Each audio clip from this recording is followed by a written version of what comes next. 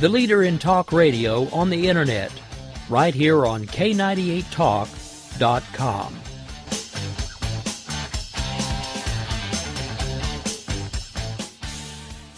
When our water heater broke down last month, it was a nightmare. It took five hours for the plumber to show up, and he charged us a couple of hundred bucks just to come out. Then it cost another $1,800 to put in the new water heater. By the time it was all said and done, I felt like I'd been taken. But what else could I do? The smartest thing you can do is get a home warranty from American Residential Warranty. Their home warranties pay to repair or replace all your major appliances when they break, and they will break, and at the worst possible time. Call American Residential Warranty right now for free information on home warranties starting at just pennies a day. Don't wait for your refrigerator to stop running or your ceiling fans to stop turning. Call American Residential Warranty right now. Ask how you can save up to 50% on washer and dryer coverage. Just call 1 800 513 6154. That's 1 800 513 6154. Again, 1 800 513 6154. Call now.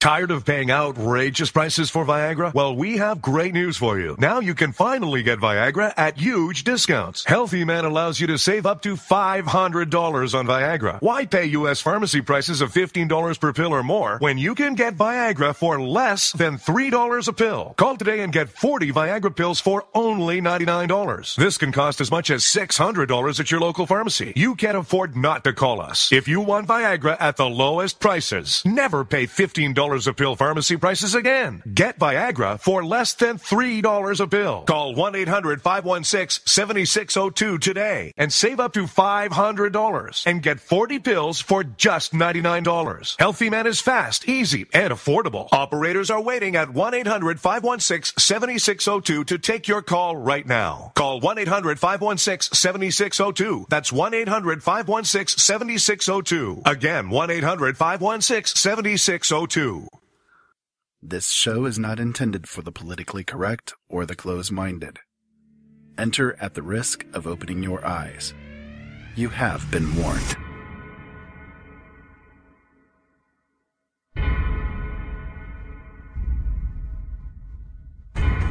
Why does the media attack an issue? To get prime time ratings? In my line of work, you got to keep repeating things over and over and over again for the truth to sink in. The Army Air Forces has announced that a flying disc has been found and is now in the possession of the Army. A moment comes when we step out from the old to the new, and when the soul of a nation, long suppressed, finds utterance.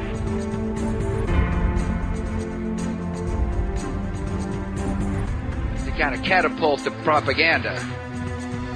You are listening to Open Eyes with your host, Ira Robinson.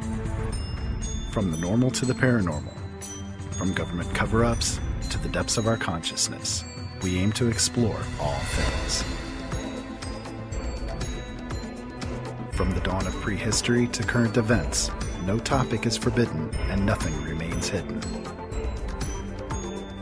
No more secrets. Open your eyes and open your mind to the fact that life as we know it is not as we have been taught. Join us at latenightinthe or openeyesnetwork.com as we take this brief journey through the depths of the cosmos and explore what it really means to be human.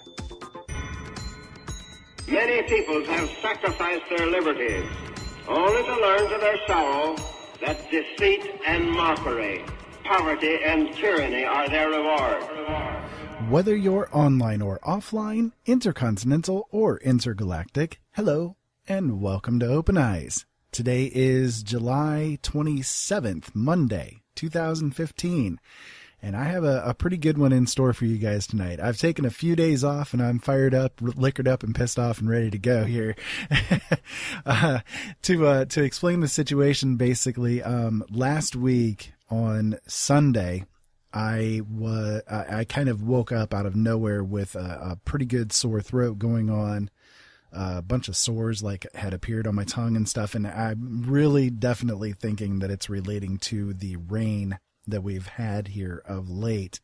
And uh, whether that's something that was in the chemtrails bothering me, or if it was maybe something in the um, in the uh, uh, mold in the air being generated, or whatever the case may be, I don't know. Who knows? It's hard to tell. But uh, either way, it bothered me, and it started to bother me like for the entire week. Basically, it stuck with me up until about uh, well, about Friday to Saturday and at that point, I started finally feeling a little bit better.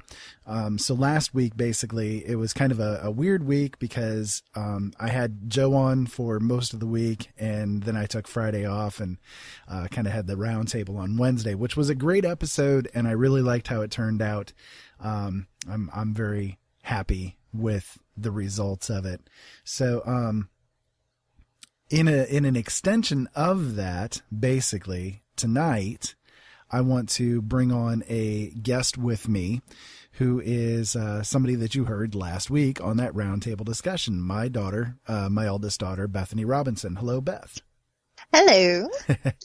I'm glad to have you with me again tonight. Uh, the the topics tonight we're going to kind of talk about women's rights in general and how they're sort of uh, getting thrown to the wayside in the uh, wake of political correctness and, and some of the stupidity that's actually surrounding the people who are supporting the women's equality and so on and so forth. Mm-hmm. And so uh, I wanted to bring you on with it because, well, you have a lot of experience in this area and you have a, a very large passion to talk about this kind of thing.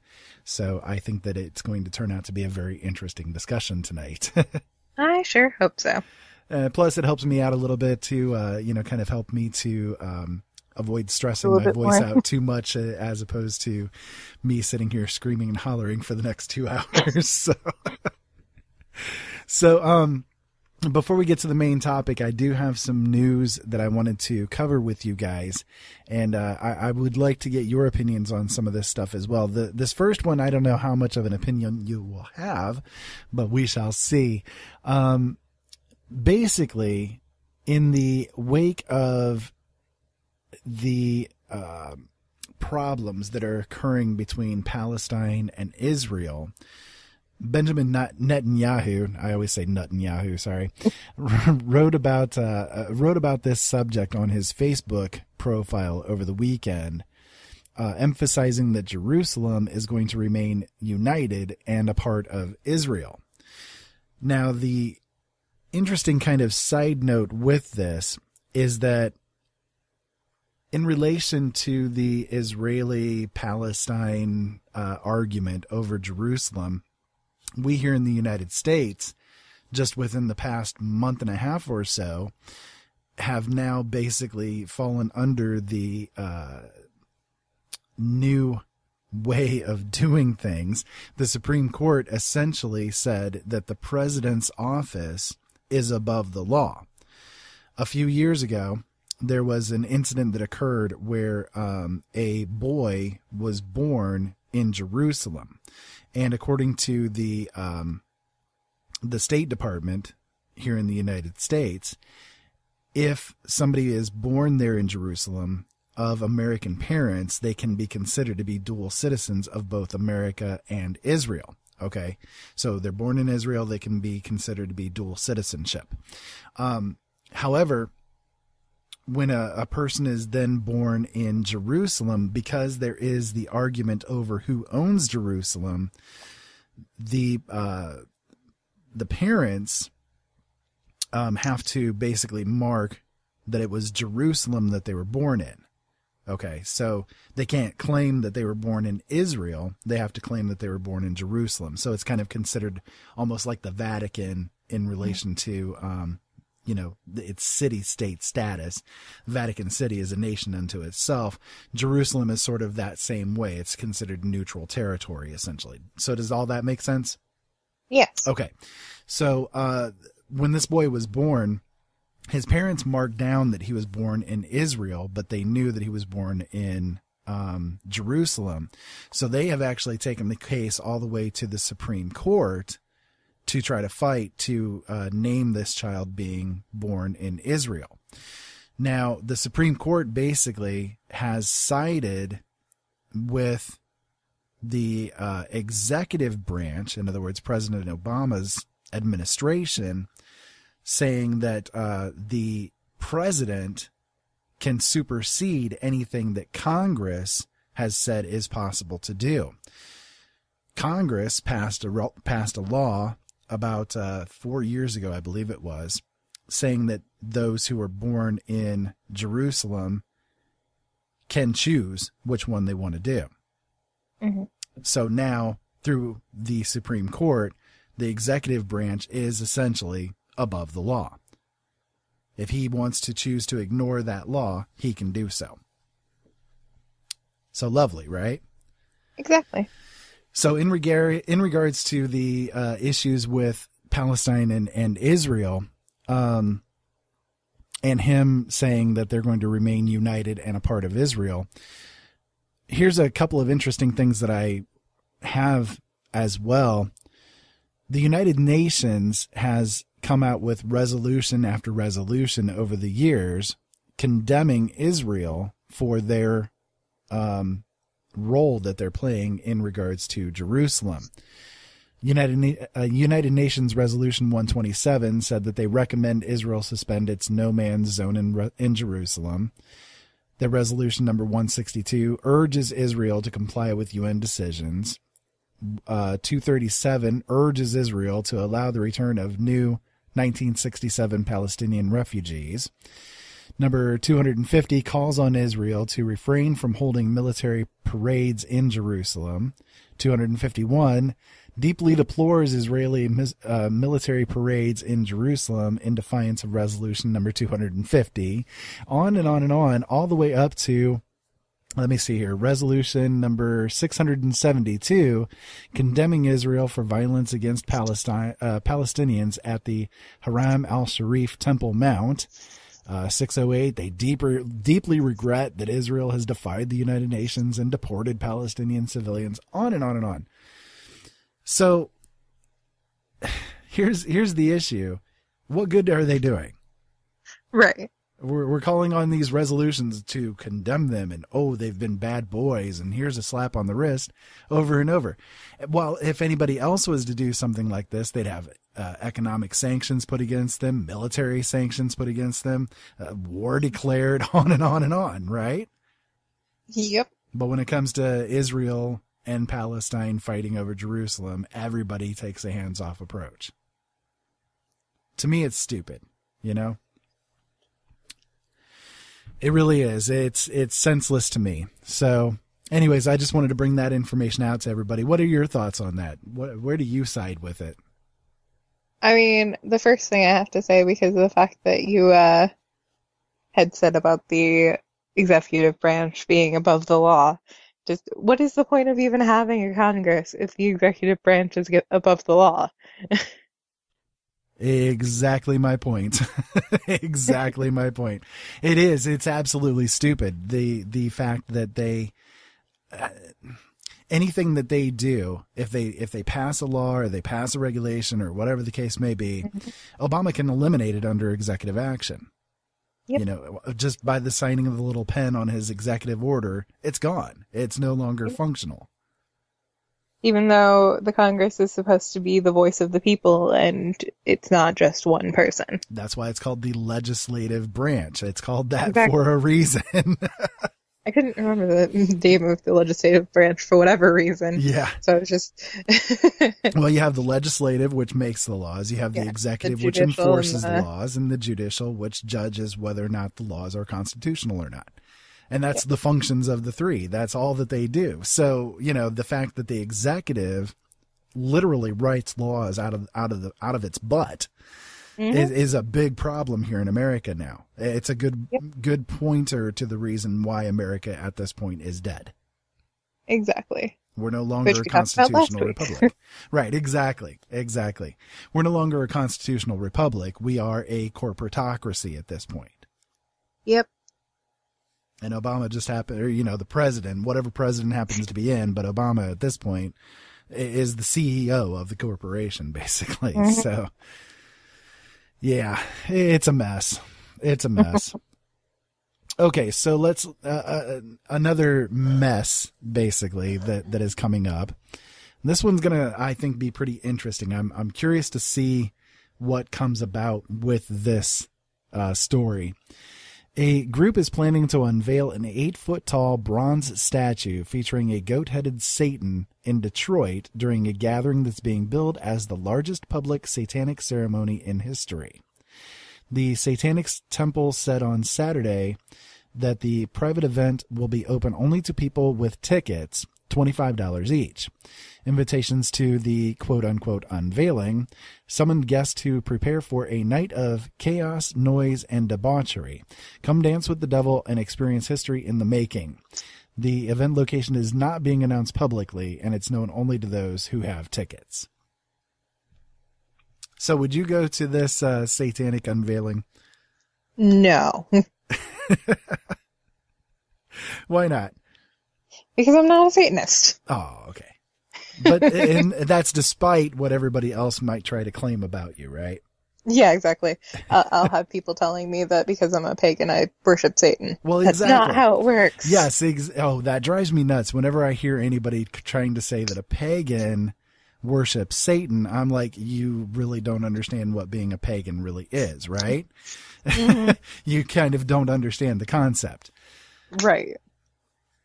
Frankly, uh, if if you really want to take a look at the actions of most people out there who follow the different religions, I would say that that about two thirds of the different uh, religious people that are out there are actually essentially worshiping Satan already because you know they they obviously are doing everything satanic.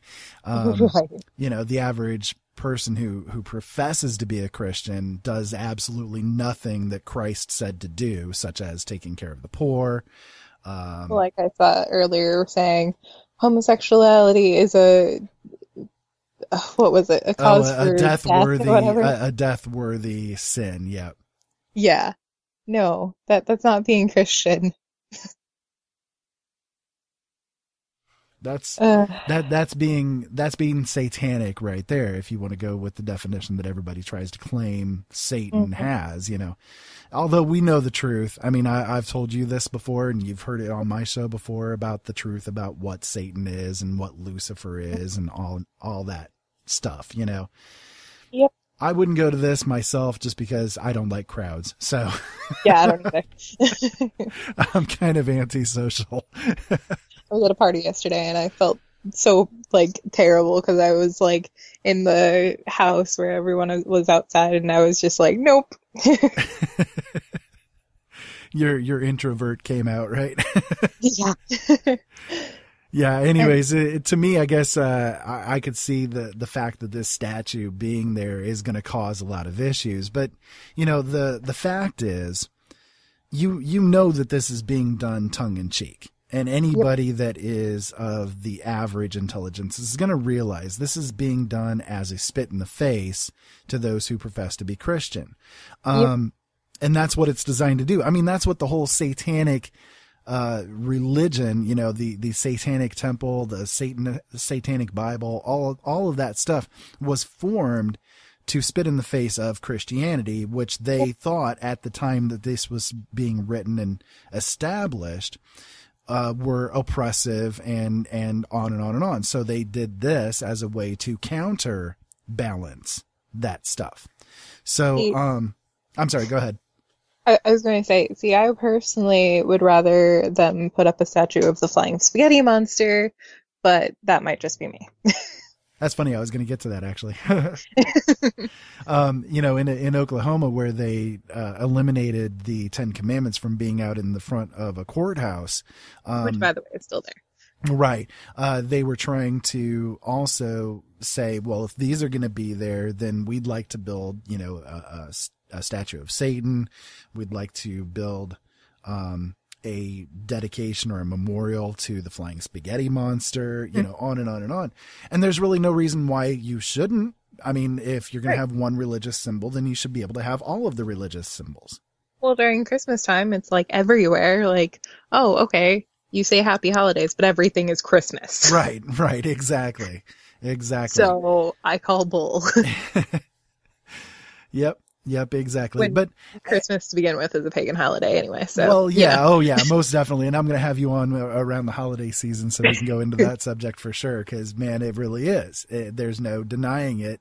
And anybody I mean, that does ago was deny Christmas in July, so I guess it kind of works. well, you know, it's it's it's not just pagan, but it's it's also uh, corporate. You know, that's that's what Christmas basically has become. Uh, it really Right. has.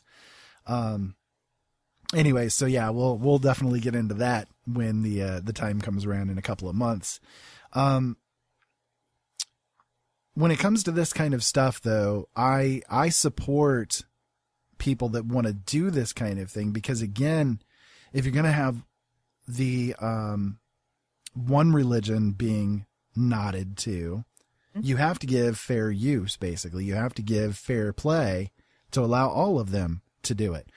I mean, it, you know, if you just want to look at, at the statistics here in America, for instance, we have, yes, a large Christian population, or again, those who profess to be Christian. And you notice I keep using that because it's really important to do so, right? Um, we also have a lot, though, who are professing to be Muslim. We have a lot who profess to be Buddhist and Hindu and so on and so forth. So, you know, it's not just a Christian nation, despite what many people out there who are Christian try to claim. It really is not. And the uh, Treaty of Tripoli proves that beyond a shadow of a doubt. Uh, but anyways, I digress. As far as this statue is concerned, I'm, I say uh, go for it. Hey, no problem. I have no issue with it. Mazel tov. or Abarat or whatever it is that you want to say as you. Right, I don't, I don't quite know what your thing is, but go for you. Now, speaking of uh, of different types of discrimination, uh, another one that I ran across that's kind of related to that one is uh, the fact that the world's first non-white modeling agency, which claims to be a true celebration of diversity, uh, is now basically opening. So, okay, so so their tagline is that it's a true celebration of diversity. But if you're going to prevent or or ignore one big section of things, that's That's kind, of the not opposite. diversity. that's kind of the opposite of diversity. Um, this reminds me of of the uh, story that I brought out. I guess it was about two months ago now on Open Eyes of a uh, two university students who were journalists that went into a public forum, a, a public meeting that was taking place. The meeting was done with um, all African Americans, and they were discussing um, like white privilege and so on and so forth. And the journalists, these two journalists, went into the meeting, you know, to to take notes and you know say, hey, you know, we had this meeting and blah blah blah. Well, these two journalists were white. They were kicked out by these people because they uh, did not want to feel oppressed by by the white people being there. They didn't want to feel like they had to hold themselves back from Right. speaking. See, it just they- reminds me of the, uh, sorry. well, and I was just going to say, and the, and then they came out saying that it was it, they did it to to help promote you know diversity and and to make sure that uh, they weren't being discriminated against and so on and so forth. And it's like, well, you just discriminated against somebody in your anti-discrimination act. yeah. Okay. Well, I was I was going to say that one story that we talked about uh, probably two weeks ago about the uh, white only or the white privilege uh, education at that one school. Oh yeah, the the white people studies basically, yeah. Yeah. Um, talking about the uh Everything from Ferguson to to Whatever. Charleston and yeah, exactly. And it was yeah, oh gosh. I mean, it's just crazy the the way that people you know think these days. And we're going to get into some of that weird stuff too when it comes to the feminist issue mm-hmm. because it's just as prevalent on that issue as well. it just makes no bottom sense line of this whole show is just like we're all human, get over it. Yes, exactly, exactly. And I, I think if if I was to to say that there was any kind of uh, tagline that my show would have, you know, kind of overall, is that we're all still learning and we just need to get over ourselves so that we can learn, you know? it's really what it all comes down to. Indeed. So uh, I have one more here, I think, uh, maybe two. Um, okay, President Obama pledged to use his last 18 months in office to work on gun control, calling it the one area where he feels that he's the most frustrated and most stymied. In a quote from him uh, in an interview with the BBC, he said, if you ask me where has been one area where I feel that I've been the most frustrated and the most stymied, it's the fact that the United States of America is the one advanced nation on earth in which we do not have sufficient common sense gun safety laws, even in the face of repeated mass killings. And if you look at the number of Americans killed since 9-11 by terrorism, it's less than 100. But if you look at the number that have been killed by gun violence, it's in the tens of thousands. For us not to be able to resolve that issue has been something that is distressing, but it is not something that I intend to stop working on in the remaining 18 months.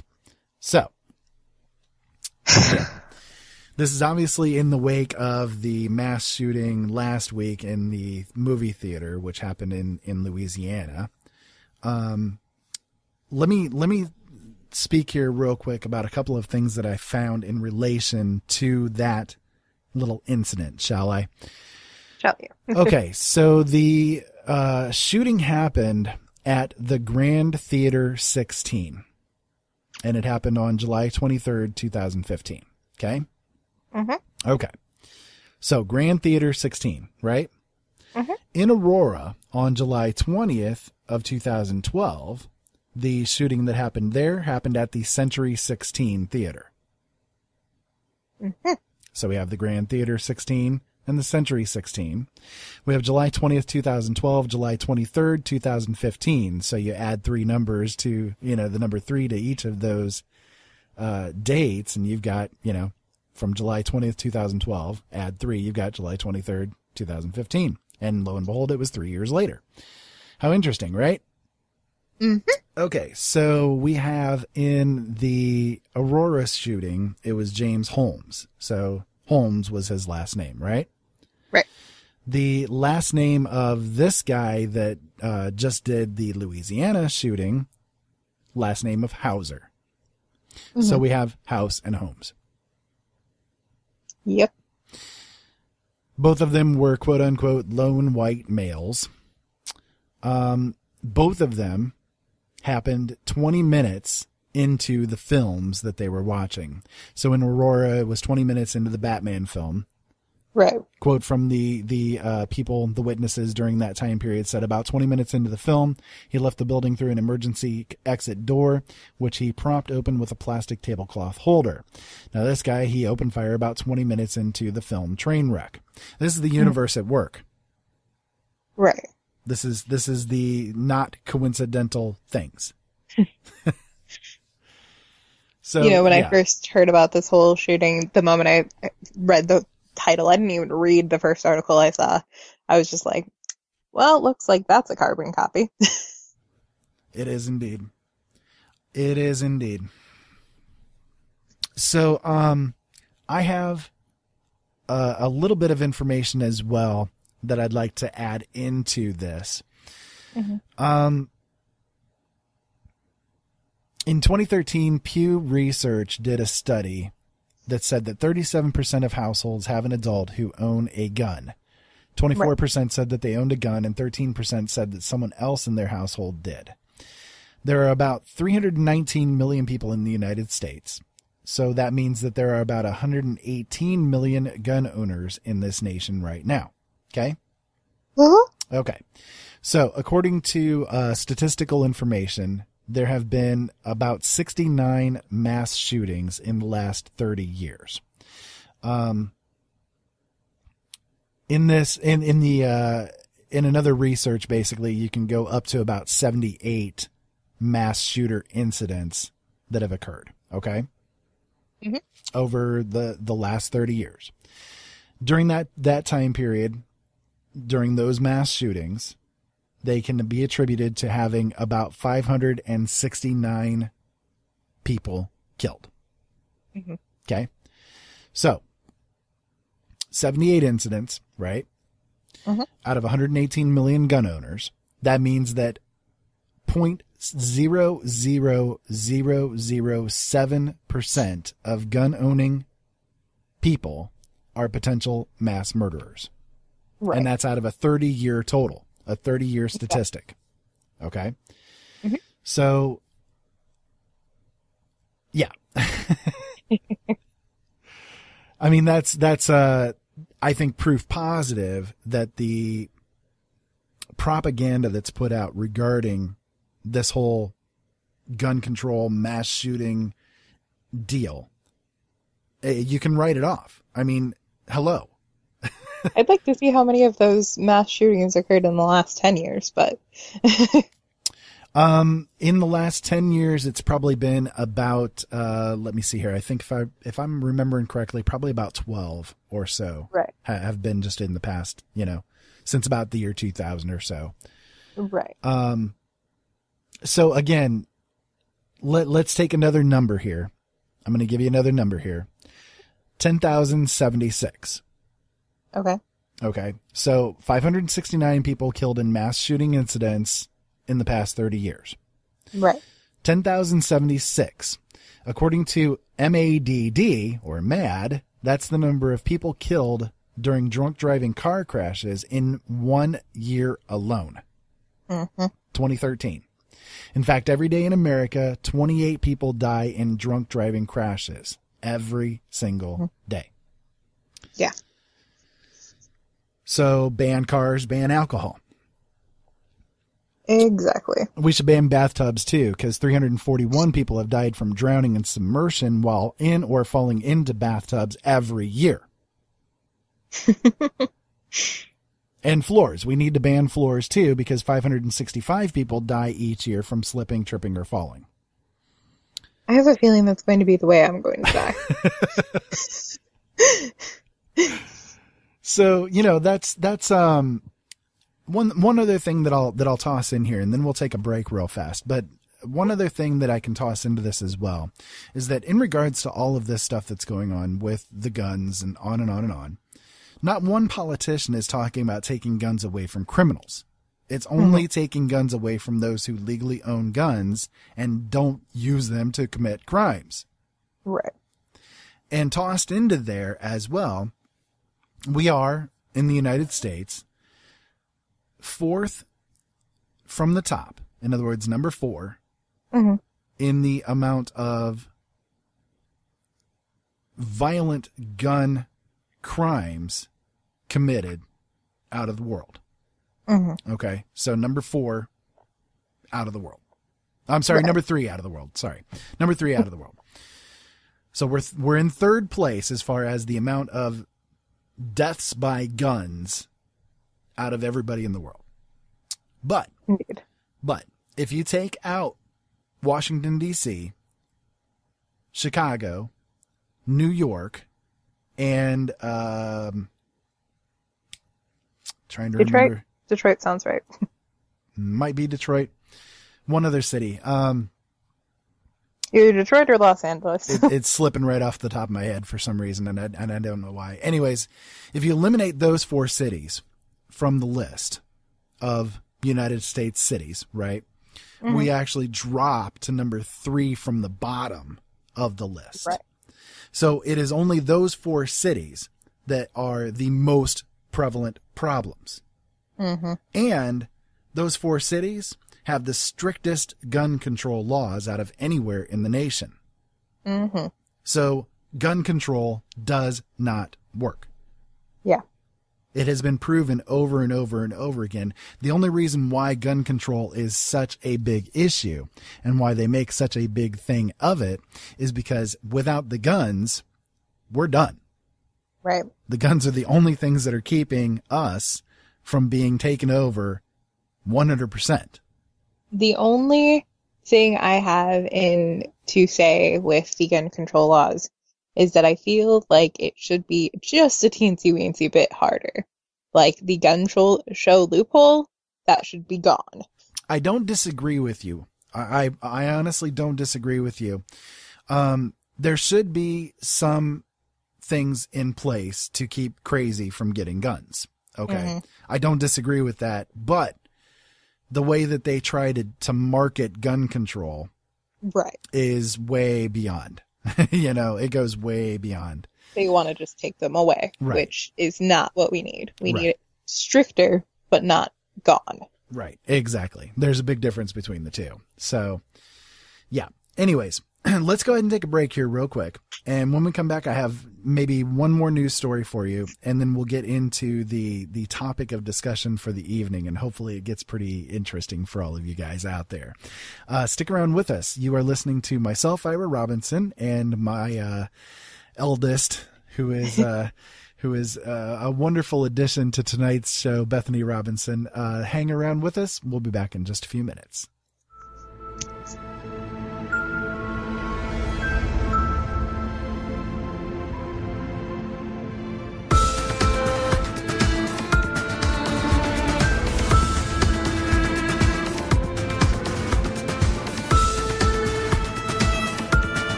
The L&M Radio Network and Late Night in the Midlands depends on you, the listener. Without you, there would be no us. So help us continue to bring you the best guests with the best information and subscribe today. Information on becoming an L&M subscriber can be found at the top of LateNightInTheMidlands.com. Just click the About Subscriptions tab and become part of the family while helping the truth stay alive.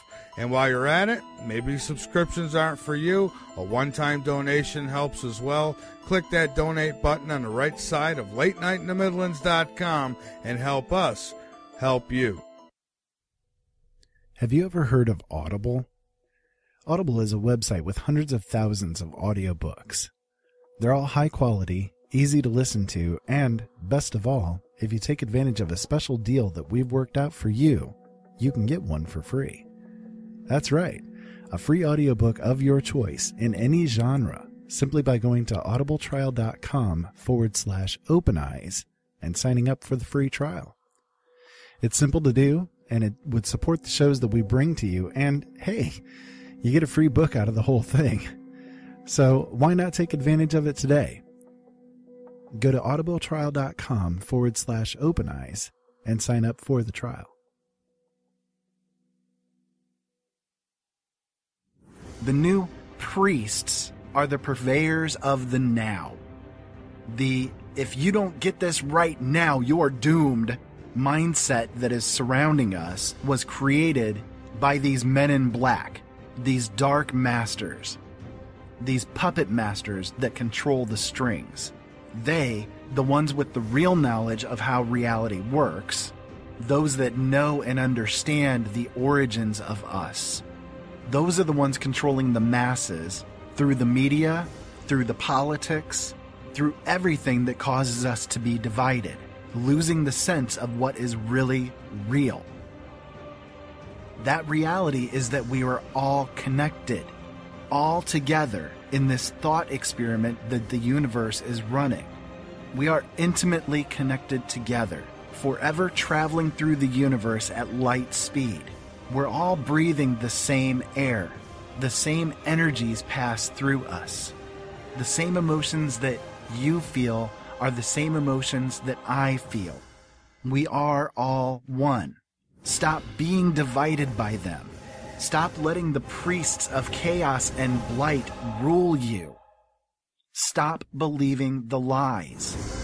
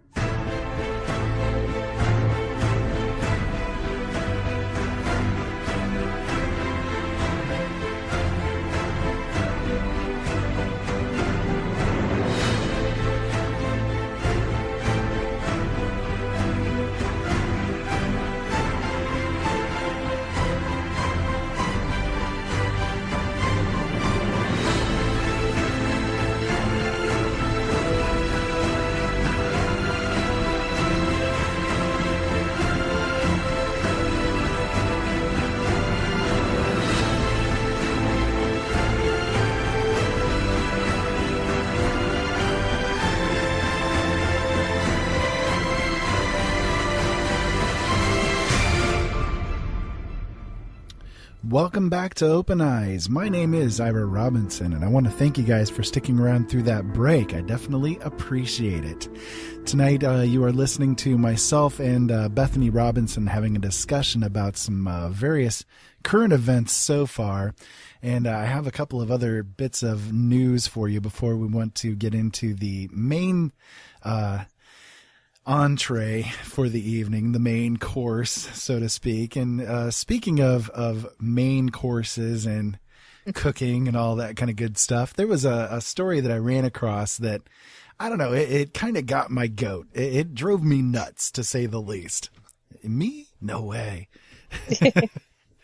a, uh, a Florida man was confronted by a county environmental specialist this week and was absurdly ordered to keep the smell of his barbecue from leaving his property. I kid you not with this. so there's a video of the incident, and um, I'll make sure to put it onto my uh, uh, show notes for this show so that you guys can see it. This is a a crazy, crazy situation. The uh, it was it was put up on Facebook by uh, homeowner Scotty Jordan, and it shows Pinellas County Environmental Specialist Joe Graham discussing the alleged infraction with Jordan and his friends after a nearby neighbor alerted the county. He said, um, "I'm only here because of the odor. I'm only here because of the smoke." During the conversation, Graham asserts that the uh, men are in violation of a local rule that uh, bans the smell of barbecue from crossing over one's property line. he said, I can smell it again right now, but I'm on your property, so you're allowed to have it smell on your property. So that doesn't count. But when I'm on the street, that's when it counts. So the uh, the cameraman asks Graham how the group, or anyone for that matter, would be able to control where the odor travels. They said, uh, so we're supposed to control the smoke and the wind and where it's blowing it. And uh, Graham goes on to suggest that the group move their barbecue on a regular basis in conjunction with wind patterns or purchase a specialized version designed to minimize smoke. so I wonder um, if this man has that. yeah. Yeah, exactly. Um, this, uh, this kind of goes right into an effort that's, that's been put forward by the EPA over the past few years where they're trying really hard to control like barbecue grills and wood stoves and that kind of thing under the auspices of reducing pollution. Um, they want to do everything that they can do to prevent pollution from escaping into the air. And okay, well, the odors of Barbecue your is cooking. not going to ruin the ozone. No, no, no, not at all. Well, uh, I don't know though. I don't know. The climate scientists they claim that the the uh, the lesser dryas, if I remember correctly, is the name of it. Um, the warming period that took place during the Dark Ages was caused by too many people lighting campfires. Well, I mean, it's all the cow farts, don't you know? Oh no no no no no no! It's it's the SUVs combined with the cow farts. It's the two put Okay, together that that are causing the problem. No, it's it doesn't have anything to do with the great big flaming ball of gas that's in the sky that's constantly putting out uh, hot radiation into the atmosphere. No no no, nothing to do with that thing at all. People, you know, come on. You know, the. Never mind.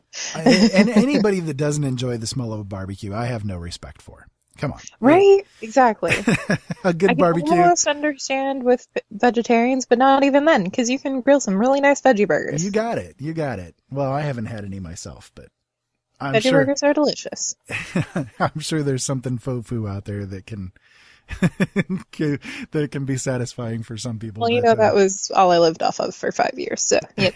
this is true. This is true. Uh, and I changed you when you came back and lived. Um, anyways, so, I was changed before that. um, but you know, I, seriously, I, I don't, I don't get why people are so nosy about stupid crap like this. But when a kid is being abused or something along those lines, you know, you got like your neighborhood filled with people selling drugs and so on and so forth. Yeah. That gets ignored. But but light up a barbecue and people freak the hell out. Come on. Well, I like the fact that this happened in Florida, and you know, there's that one Twitter account that's like the the superhero Florida man. Oh, okay. Yeah, I know which one you're talking about. Yeah. Florida is is weird. You know, I mean I don't know. There's so much that goes on in Florida. I mean, it's God's waiting room to begin with, but you know, there's so much that goes on in Florida that just is insane. Why do people put up with half the crap that goes on down there? No idea. Uh, you know, you've got you've got them literally making homelessness illegal. They make it illegal to feed the homeless like there's some kind of pigeons or something. You know, uh, uh arresting a 90-year-old guy for going out and feeding the homeless and you know, uh, I mean, all it is is people wanting to party and old people. That's Florida for you. It's pretty much Florida in in a nutshell, right there. Yeah. It's it's I don't know. I don't get why people just put up with half the crap that some of these cities come up with. You know, again, the the homelessness thing alone is enough to to drive me to distraction. You know. No offense to anyone that lives in California or Florida, but honestly, they just need to both have an earthquake and go the fuck away. Sorry. now I gotta edit. I'm sorry. Thanks, Joe.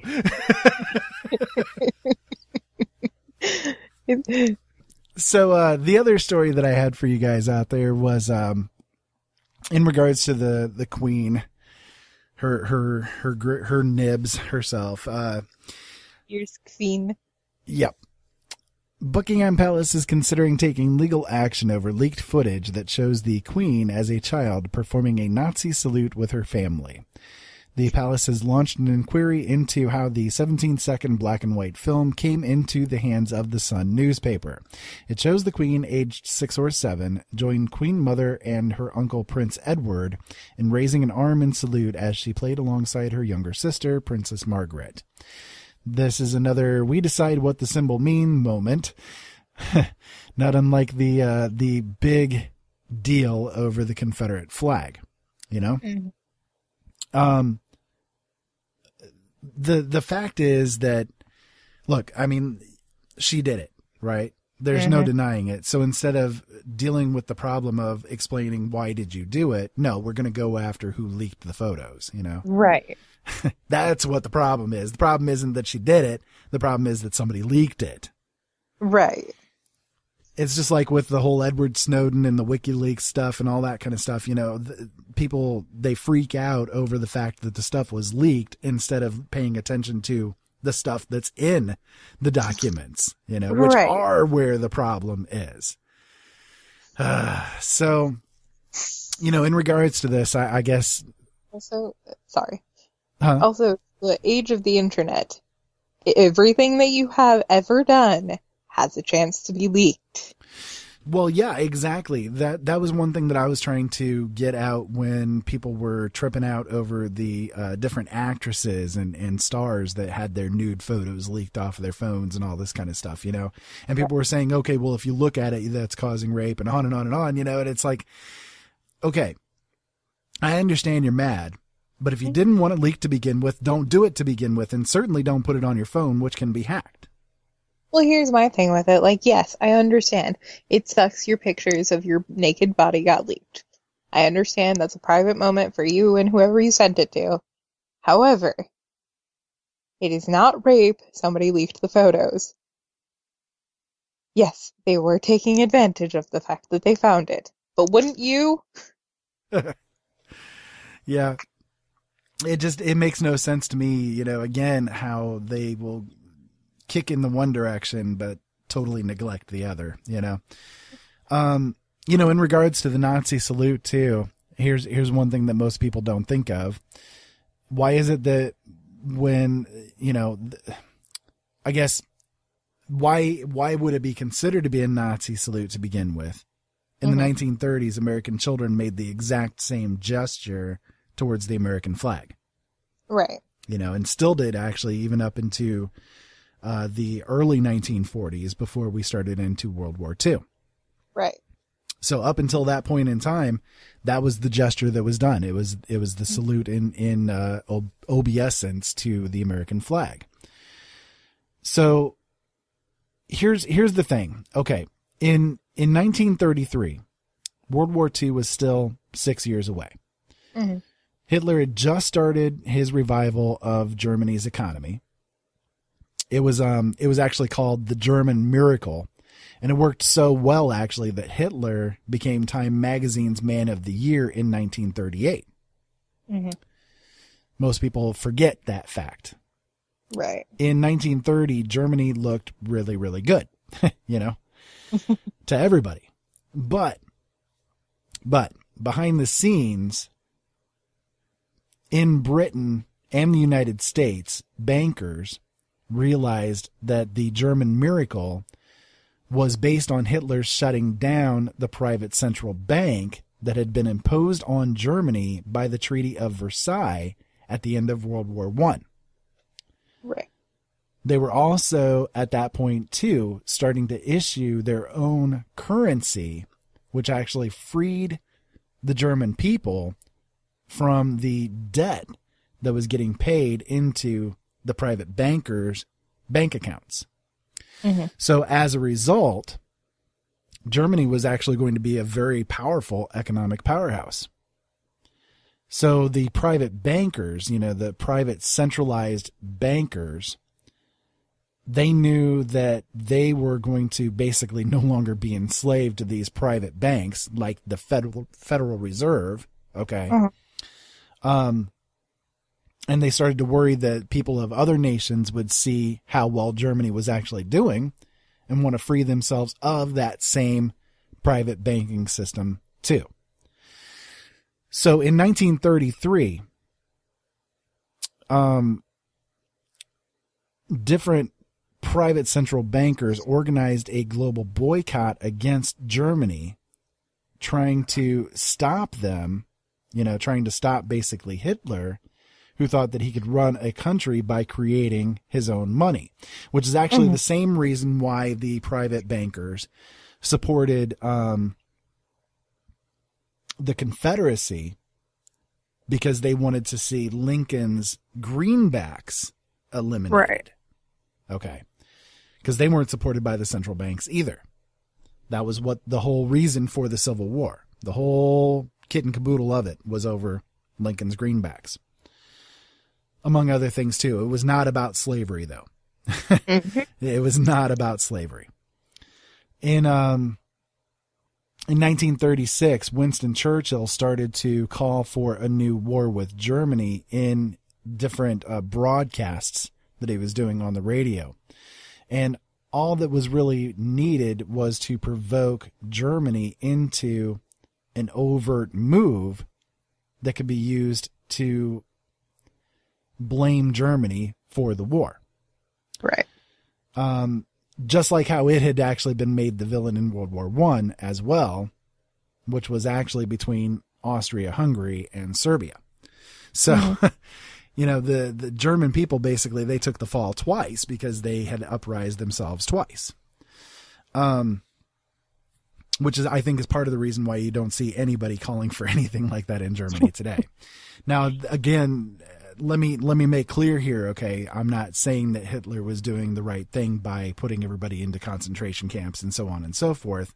He went the complete wrong direction in everything. But until actually the start of the war, until actually the the um him burning the Reichstag, which was his deal, you know, that was kind of one of the first really uh, well-known false flag events to occur. Right. Um, that was what started the call for war. So by that point in time, basically, he he had lost his nut. Okay, but before that period in time, he was actually a pretty decent leader and actually was leading Germany into a very prosperous way of being. Mhm. Um, and then Which is why so many people followed him to begin with. Right, exactly.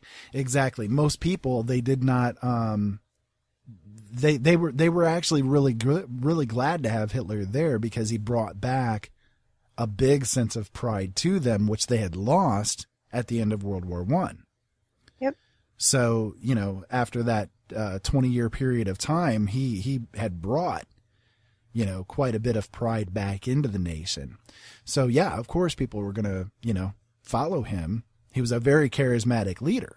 There was Mhm. no reason not to follow him at that time. But then, you know, again, the nut got lost. I mean, a lot of the problem, I think, when it comes to um, the Hitler problem is that most people don't take into consideration the uh, other people that were pushing him as well. Again, Mhm. not saying that he was in any way, shape, or form good, but that um, there were other mitigating factors to everything that was there, such as the Vatican whispering into his ear that the Jews needed to be eliminated because the Vatican can't stand the Jews. Yep. Okay. So they were doing everything that they could do to push him into eliminating the Jews. And that was where basically he really started getting the, the feather up his butt to start evicting out the Jews. And when the Jews would not evict themselves, that's when the concentration camps started to open and everything kind of fell into place from there. And from there, um, like right during that period of time as well, a lot of other uh, people started to have interactions with him and started pushing him into the directions of the occult. Mhm. And so if you start looking into like the truth of World War II German history, you'll see that there was this big push towards the occultic um, type of thing by Hitler. He had basically one division, you know, one half of his troops were dedicated to fighting the war, while the other half was busy trying to locate different relics and and uh, reliquaries and and uh, books and on and on and on. You know, trying to basically gather as much occultic material together. For what purpose, well I don't as- know. Huh? as well as also the fact that they had many people stationed in the concentration camps that were doing experiments towards the occult. Right, exactly. That was that was a big part of the reason why those concentration camps were there. Was as a point of experimentation, not just with the occult, but also with, uh, you know, going into into genetics and different medical things, and on and on and on. I mean, horrific stuff, you know, to say the least. But that was kind of again the reason for being with regards to um, Germany during that period of time. So, you know, the, it really all started just like the Civil War did in relation to money. Mm-hmm. So the fact that the getting back to the the story here, the fact that the Queen was giving a salute much in the same way that the American students were doing and and that the um, Germans were doing and on and on and on. It's not really to me that big of a deal. I don't see it being, you know, such a a you know, she was not um dedicating herself to Nazi Germany or anything along those lines. By that period in time, it was actually not even Nazi Germany. It was it was at that point again the quote unquote German miracle going on Right. at that point. So yeah, it's just a weird um issue, but I, I've seen I mean- a lot of people talking about it, and I just kind of wanted to make sure that people understood uh, uh, the side truth of all of it. You know, It's a big deal to us now because of the fact that it is a symbol to most people of the Nazis and how it's a terrible, terrible thing in our history. But it's really not about that then. Right, exactly. It's the hindsight thing. Yes, we understand that now, but you know, in hindsight is the only reason why we understand that. So, uh, again, it, you know, it's it's like uh, it's like during the 1950s. You know, the the at that point in time, the words "under God" was added to the Pledge of Allegiance, but it didn't Mhm. exist in the Pledge of Allegiance before that point in time, and it was only put into to position to uh, counteract the quote unquote godless communists. Mm-hmm. So, you know, the godless commies. Um, that was the whole reason why it was put there. So the uh, hindsight to that, we can see now how people act when it comes to the Pledge of Allegiance. I see on Facebook all the time, you know, people um, putting out the different memes. Say under God during the Pledge of Allegiance. Yeah, yeah, exactly. And it and it just it kind of drives me a little nuts because it's like, okay, are you meaning the Pledge of Allegiance before or after the 1950s? And are you meaning the the one that was put out simply as propaganda to brainwash people into fighting against the godless commies? I do also have to say, um, in regards to the whole Nazi thing, I am sick and tired. I know you're going to call them feminazis, and it's going to drive actually, me all. actually, no, no. I, I'm I'm tending not to call them uh, feminazis anymore. I'm calling them radfems at this point. So Thank you. Because every time that I hear somebody call somebody else a Nazi because of the fact that they don't di- that they disagree with them, it's driving me insane. uh, I love it. I love it. Yeah, also, no, I. Uh, also the pe- fact that people are getting angry at me for being a socialist. The Nazis were called socialists just because it sounded good. Well, okay, socialism, the um the idea of socialism at its core, there actually is not really anything quote unquote wrong with it. And I'm probably Well, going to yeah. get blasted for that, but uh, I understand the reason for it there. Um, I tend to be more towards the idea of a free market kind of a thinking, um, simply because of the fact that if you run a business, if you have a business, if you have something that you're doing as your, you know, life, right, your career, um, you have to work hard to get it to survive. You know, I, I've been there. I, I've run my own businesses before. If you run a bad business, it's going to close. You know, that, that's just simply how it is. Um, so I'm, I'm, like I said, I'm kind of more of a, a free market kind of a thinker as opposed to a socialist, but I understand the ideas behind socialism. Right. Um, Well, I was just meaning the fact that a lot of people, because of the fact that I do support social programs adamantly, do call me a socialist. Right, but and see- I have no problem with that. Well, there's a there's also though too a big difference between social programs and socialism. A complete vast difference, and people really need to get that through their heads. You know that they're, they're not one and the same in any way, shape, or Mhm. form. So yeah, trust me, I definitely understand where you're coming from with that.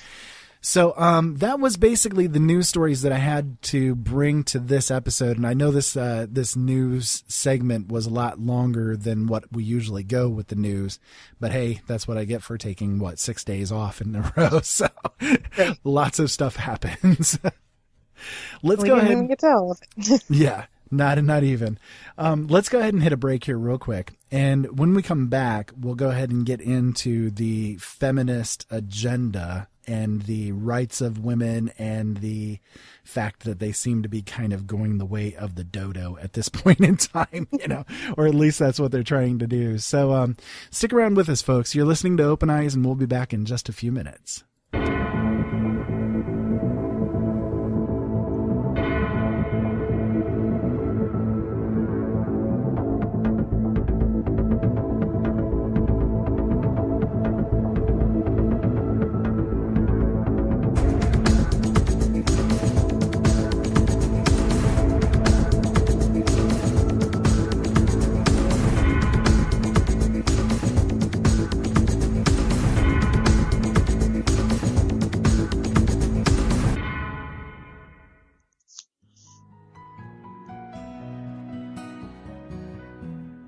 Late Night in the Midlands radio network is deeply devoted to you, the listener. We feel it is necessary to bring you all of the information that you can use in your life. Each and every day, you will find something to listen to here.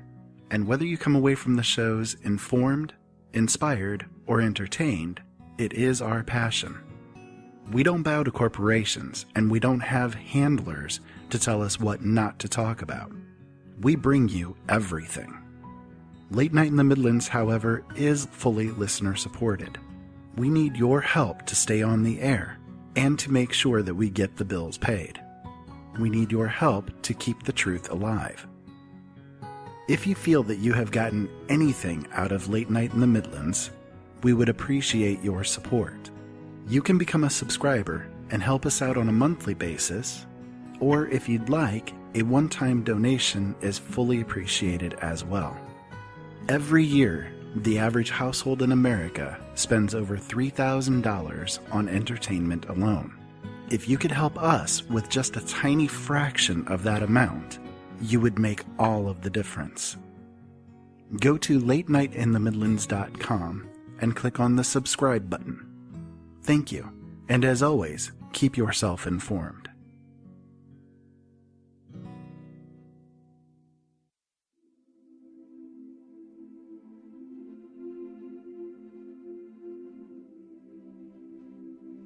So I want to challenge you all about what you think you know. You know.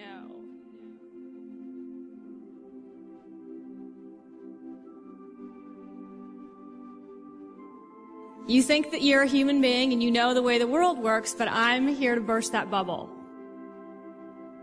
All of us are energy. A human being is a very complex pattern of energy.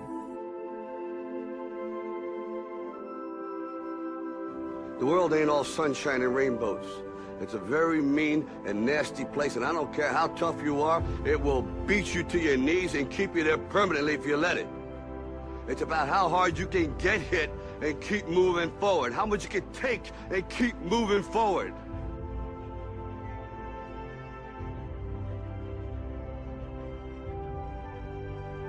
Much more important to teach children to question what they read. Children should be taught to question everything.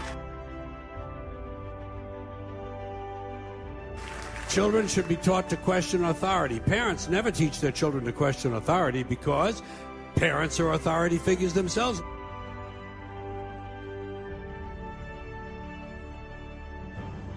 Like it or not, for the moment, the earth is where we make our stand. It's just a ride. And we can change it anytime we want. It's only a choice. No effort, no work, no job, no savings of money. A choice right now between fear and love.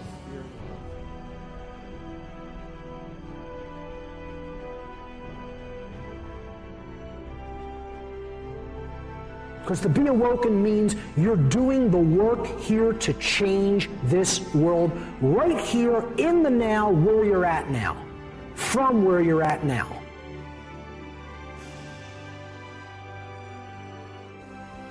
The eyes of fear want you to put bigger locks on your door, buy guns, close yourself off. The eyes of love instead see all of us as one. It underscores our responsibility to deal more kindly with one another and to preserve and cherish the pale blue dot, the only home we've ever known.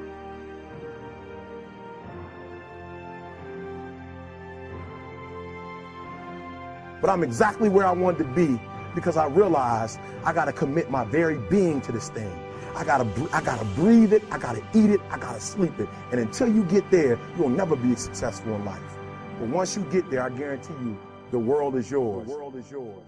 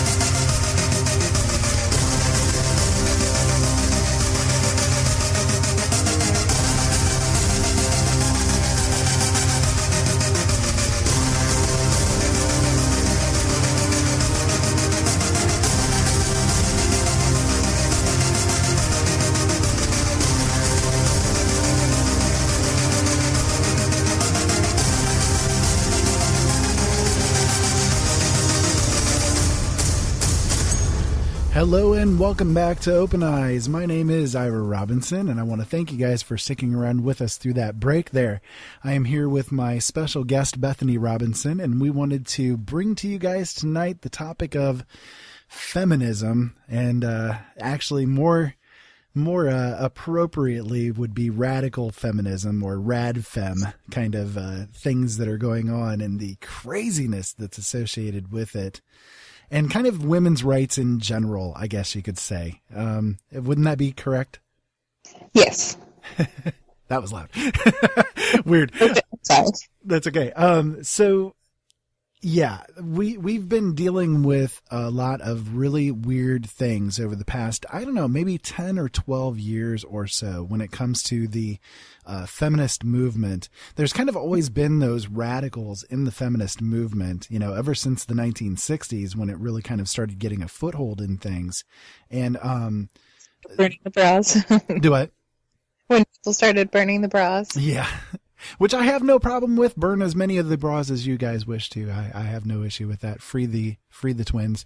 Um, so the uh, the fact is though that over the past maybe 10 to 15 maybe years um, we have been seeing a really heavy increase in the amount of radical feminists that are out there and they have really been pushing forward this agenda of completely eviscerating everything that is male, you know? And Mm-hmm. to me, that kind of really, um, it, it's, it's angering to me because I, you know, I've never said that I've, that I'm a feminist. Okay.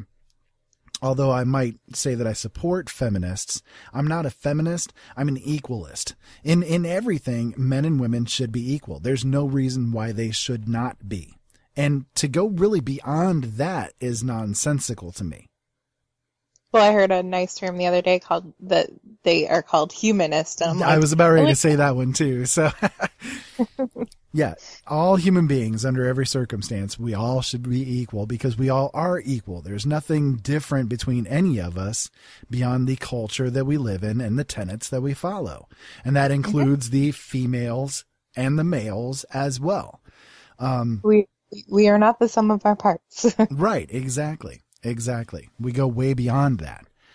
Um, so let's let's kind of get into this a little bit here. I, I guess the first thing, the first area that I would like to touch on in regards to this is the fact that when it comes to the females and males of the species, for some stupid reason, it's considered to be unequal for uh, women to go topless like men can.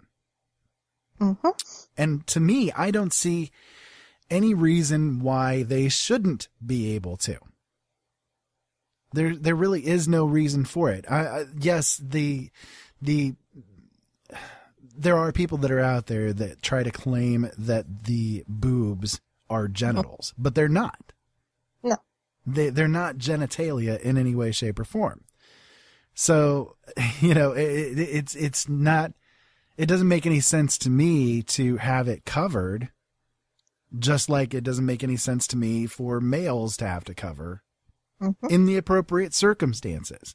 Now, I'm not saying that everybody should be able to go topless wherever and whenever they please. There are times and places where it would be quote unquote appropriate to do so because of health reasons and so on and so forth. Okay. But when those things are not the case, there's no reason why a man should be able to not have a shirt on, but a woman has to have hers on. Mm-hmm. So, what are your thoughts on that? My biggest thoughts on it.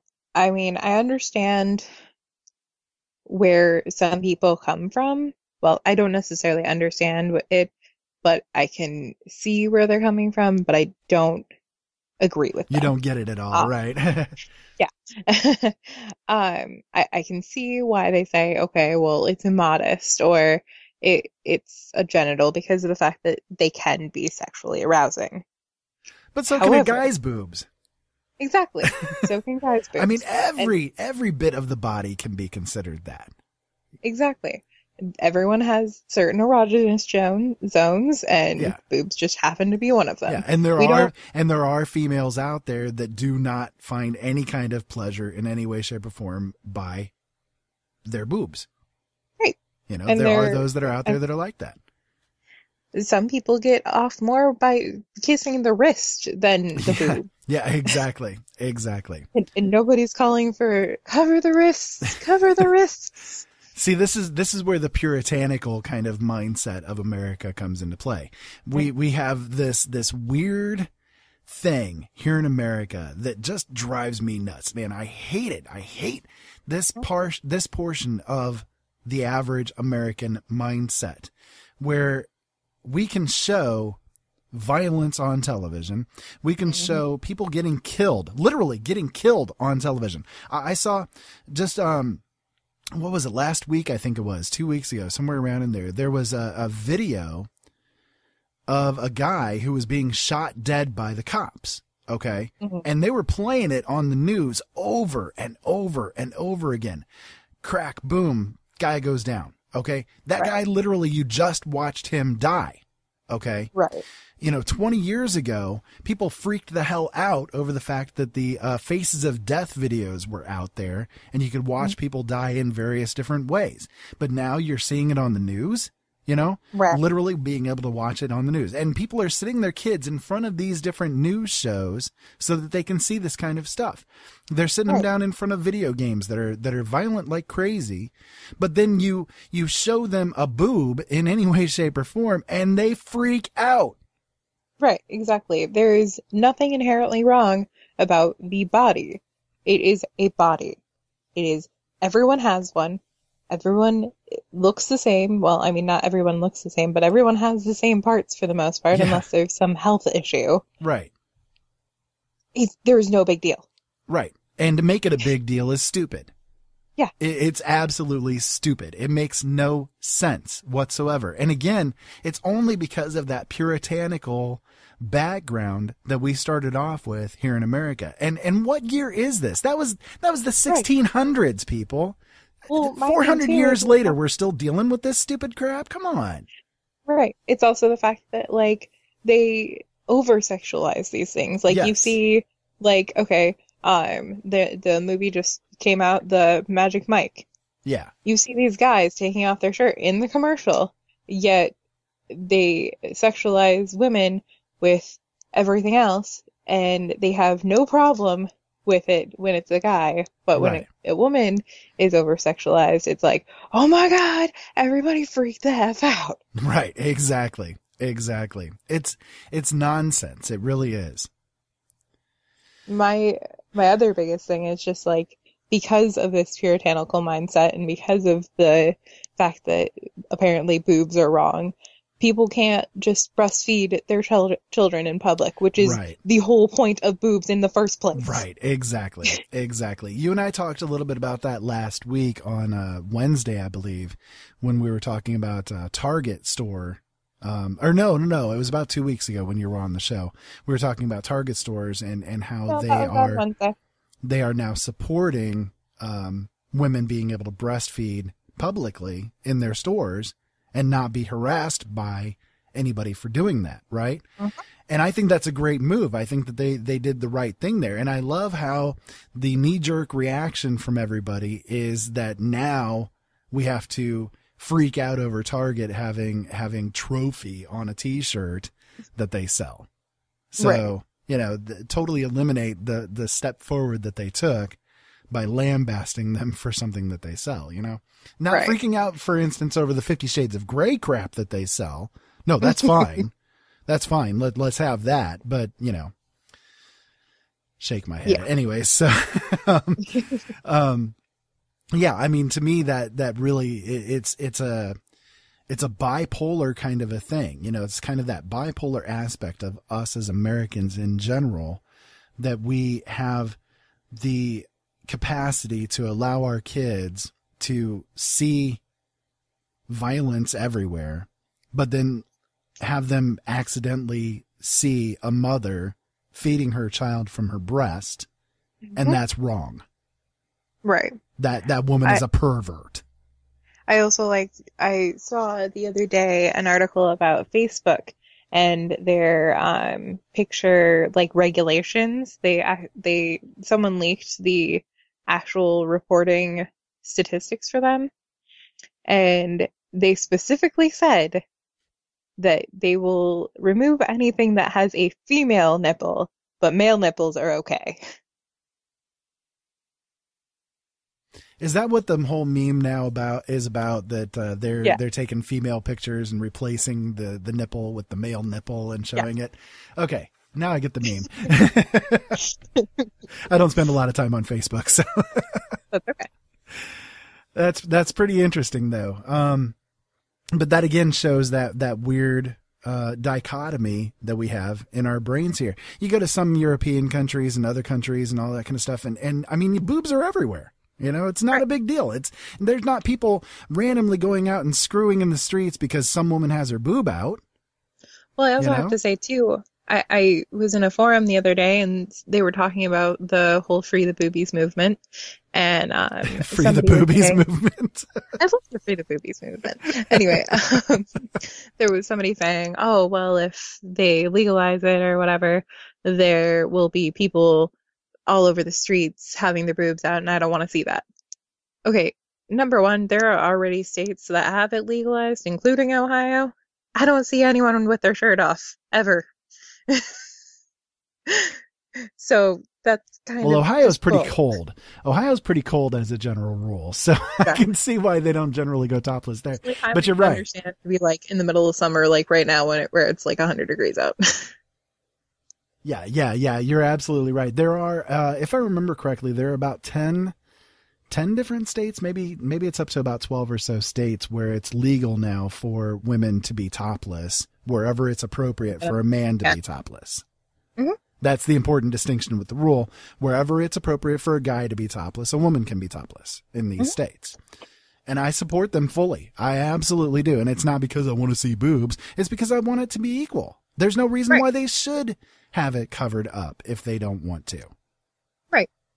And just because of the fact that boobs are exposed does not mean that vaginas and penises and everything like that should be exposed. Or are Indeed. going to be exposed.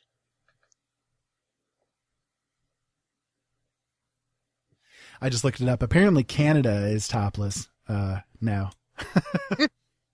Well, all, all of Canada. And you don't see people again randomly going out and, you know, boffing in the streets and it, it, you know, mass hysteria everywhere, cats and dogs living in sin and, you know, on and on and on.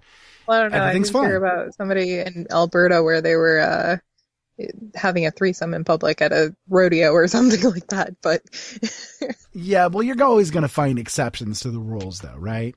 I mean, Right, exactly. that that is not because toplessness is legal there. That's because those people were perverts.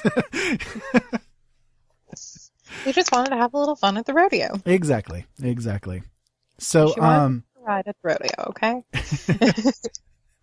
So breastfeeding in public, I know that's one thing that you are a, a huge advocate of, and I, Mhm. I definitely support it as well. I mean, to me, there's no reason why it should have ever been a problem to begin with. I, I have actually tried to find kind of like the origins of that being a problem. And the only thing that I can really find is that it really does go back again to that, that puritanical kind of kind of thing. Right. a- And that's the only reason why it's there. But the fact is that it, it is, it is the basis of us as human beings to Mhm. feed from the breast of our mother.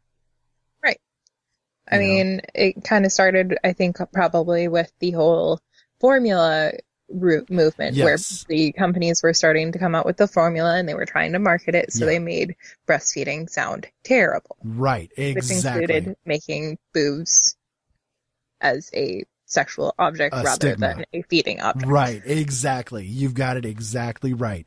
Um, there was a, a massive propaganda campaign that came out when uh, Gerber, I think it was Gerber that started off the uh, the uh, artificial formula kind of things. Um, when they came out with their propaganda, it was it was huge. I mean, it was a massive campaign, and they were talking about uh, breast milk is is actually dangerous. That that it's not at all good for the child, and this is why we have polio, and on and on and on. You know, and um, so you know, do the do the soy formula and do the the fake formula, and and uh, that will be better for your baby. Um, Right. The fact is, though, that, you know, it is important, absolutely essential that the child should at least get some of the originating breast milk because of the colostrum, you know, if possible. those, those first few feedings are really, really, really important for the overall health of the baby. Mhm. So, um, you know, even if you can't do it from that point forward, you should at least do your best to do it there. And I find Right. it ironic that the CDC now is trying to say that the women should delay breastfeeding their children for as long as possible because it interferes with the vaccines. It makes right, the and that vaccines just ineffective. makes me angry. I would rather wait for vaccines until after my child is done breastfeeding than wait to breastfeed until my child is done with their vaccines, considering the fact that they won't be able to breastfeed after a certain point because your boobs run out of milk. Yeah. Yeah. Yeah. There there's a there's a point where too much is too much, you know? Well, I, I don't know how many people know this because I didn't know it before I became pregnant myself. When a breastfeeding mom or when a mom becomes pregnant and starts developing their milk, after a certain point, if they don't continue breastfeeding, they run out of milk. So, i i if you stop breastfeeding or if you don't breastfeed at all, that child will never be able to breastfeed. Right. They, the, it dries up. Right. Exactly. Exactly. Um, you know, and that's where too a lot of uh, the ideas of like wet nurses and that kind of thing developed from because the uh, the mothers didn't want to feed them themselves, so they would hire somebody to come in and breastfeed the child for them with their milk. You know, so um, there were women who got paid very very well actually for for being wet nurses. Um, Mhm. You still find that actually today, where you can find people that will do that for you. Or you Um, can go to places online where you can buy breast milk and have it donated and whatnot. Right, yeah, yeah. You can buy it like off of Craigslist and stuff. Which I don't know if I'd trust breast milk off of Craigslist. I, I don't think I yeah, would. Uh, they they they have done some studies on the um kind of like online donation things, and they have found that a lot of them are very very dangerous because of the fact that they can have all kinds of STDs and everything because they aren't screened properly. right, and drugs in the system when the mother is giving the milk and all that kind of stuff. Yep, different prescriptions that all gets into there. So, yep. So let me get into something else here. I, I ran across a, a couple of things here that I'd like to get your thoughts on. Um, there are women out there, the rad femmes, who declare that all heterosexual sex is rape. What? Yeah. There was No. uh yeah, the, the it's a big thing. Um let me see here. I'm going to I'm trying to find the exact words here. Sorry, I got to go through my tablet. Um okay, so there is a there is a, a couple of sites that are out there that are kind of dedicated to the the um you know the radfem movement. Uh one of them was started by the late andrea dworkin.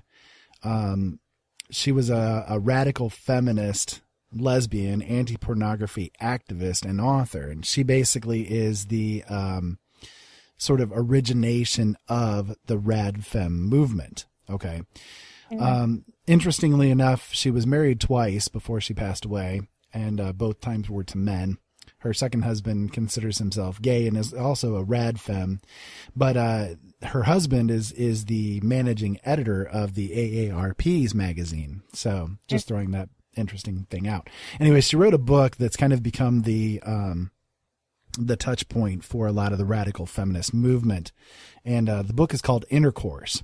And in the uh, in the book, she argues that in our patriarchal or male dominated society, all heterosex is really all heterosexual sex is really rape and not that different from pornography in that it's coercive and degrading to women.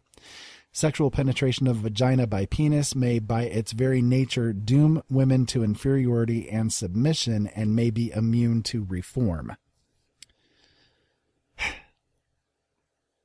No. Um, yeah, so apparently the only sex she's ever had was non-orgasmic missionary position only for the cause of having children. Yeah. Yeah. Uh, she said, intercourse is the very means through which men oppress us, from which we are not allowed to escape. Uh, first, intercourse is never sex for women. Sex for men is the unilateral penetration of their penis into a woman or anything else replacing and symbolizing the female orifice, whether she thinks that she wants it or not, which is the definition of rape, that he will do it anyways and that he uses her and treats her as a receptacle in all circumstances. Men use women as useful objects and instruments for penetration, and women are dehumanized by this act. It is an act of violence. Intercourse is inherently harmful to women and intentionally so because it causes pregnancy in women. Has she ever thought about the fact that some women actually like to be pregnant and like to have a woman, a, a regular, like, not regular, but a, a childbearing kind of life? Well, she goes into that actually. Um, let me see here. I, I thought I had it copied onto here because I thought you might bring that point up. Um, I, also have to say, again, this woman has never had an orgasm through a penis in her life, apparently. okay, well, here I got I got a couple others here. Um, the purpose of men enforcing inter- intercourse regularly, as in more than once a month, onto women is because it's the surest way to cause pregnancy and force childbearing against our will and thereby gain control over our reproductive powers. Reproductive harms of penis and vagina range from pregnancy to abortion, having to take invasive or to- toxic contraception, giving birth, forced childbearing and rearing, and all of the complications that go with them, which may lead up to severe physical and emotional damage, disability, destitution, illness, or death. If we compare this to even the crappiest online definition of violence, behavior involving physical force intended to hurt, damage, or kill someone or something. Penis and vagina is a man mounting on a woman to thrust at large a large member of himself into her most intimate parts, often forcing her to be entirely naked, banging himself against her with his whole weight of his body and hips, shaking her like he would stuff a corpse, then using her insides as a receptacle for his penile dejection. How is this a normal, civilized, respectful way to treat anyone? I'm sorry for the explicit picture, but this is what it is, and it is absolutely revolting and violating.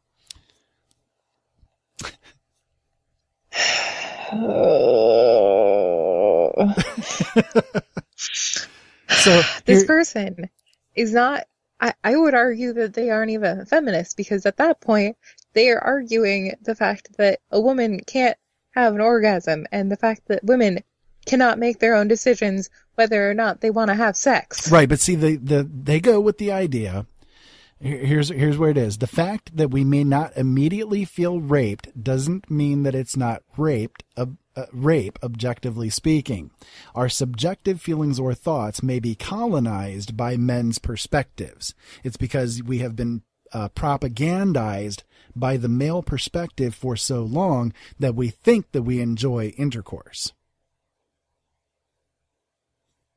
I enjoy intercourse. no. Apparently, you've been propagandized by males. Um, so, so, so, I mean, what do you, what do you think about this kind of, of radical feminism? I mean, this is, this is pretty extreme, right? Yeah. I, I have to argue as far as radical feminism, especially in this case, that they aren't arguing for women. No, they really are arguing against. I mean, if anything, they are trying to disempower women completely. Right. Completely disempower women. I mean, that's exactly. how I look at it. I mean, I can make decisions for myself whether or not I feel like a having sex is rape. or the fact that I would like to have children or the fact that I want to feel empowered by having sex with my partner. I mean, this is the same kind of, of mindset or thinking that says that uh, in order for a woman to protect herself from a potential rapist, she should urinate on herself to to to make him be turned off. Mm. That's supposed to be your defense: is pissing on yourself.